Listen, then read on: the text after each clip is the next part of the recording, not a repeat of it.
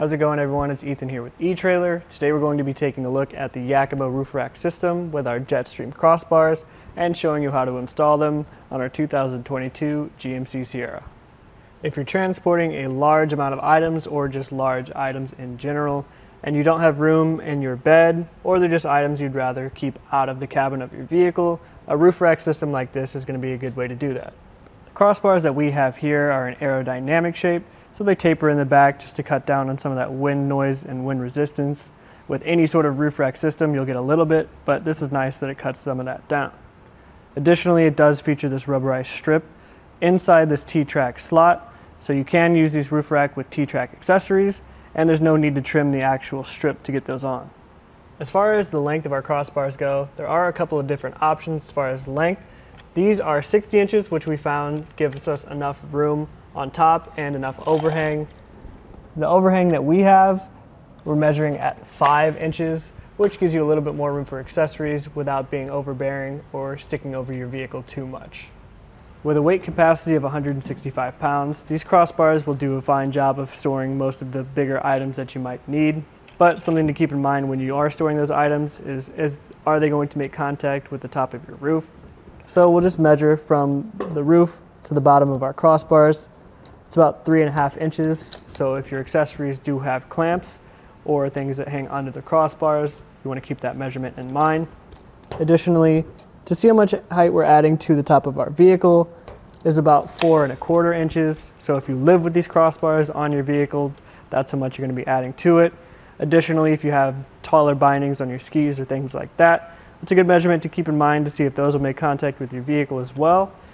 To start the install process, we like to just lay everything out, making sure that we know what everything is and that we have it. So we're going to obviously have our crossbar here, two towers, the covers for the towers, two hooks that'll keep the actual feet in place, two pads for the bottom, and our end caps. Additionally, there is a provided tool, and we recommend going ahead and grabbing a fabric tape measure. They do provide one, but we have our own. We'll start by assembling our towers. First thing, we probably want to loosen this metal plate here. You do that first actually by releasing this security lever. As you can see, it covers it. And if you pull it back, you have access to get in there. So we'll loosen that.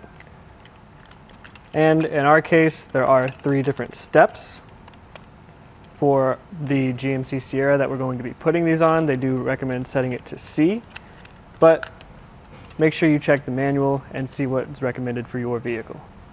Now the next step is to get the actual feet onto our towers. So ours came with a plastic cover, we just removed that, and making sure that this arrow on the tower is facing out, it just snaps into place. And now we can go ahead and slide this onto our crossbar. Because we loosened that metal plate earlier, it should just slide right onto our track, like so. Make sure you consult the manual to see the specific measurements for your vehicle, but as you can see there are little ruler notches on the actual crossbars themselves, so using those we'll slide the feet to the point where we need it, which is right about here in our case, and we can get that tightened down.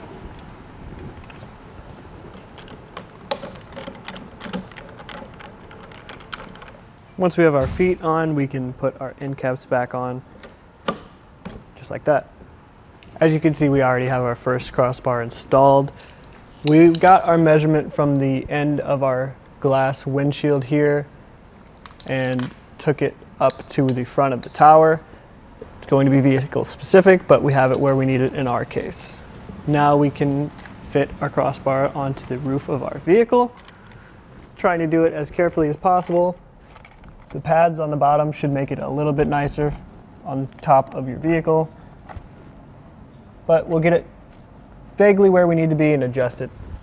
When you actually place the crossbars on top of the vehicle, these feet are nice because they will actually fit in the ridges on top of your roof. Now that we have our crossbars roughly where we need them to be, we'll take a measurement to make sure that the crossbar spread is what's recommended for our vehicle. In our case, it is 32 inches so we're about there. Just slide this forward a little bit, and that's pretty good. Now we'll get our clamps installed as well, starting by opening up that security door again, sliding it through, and all we have to do is get our tool through the middle of there and tighten it.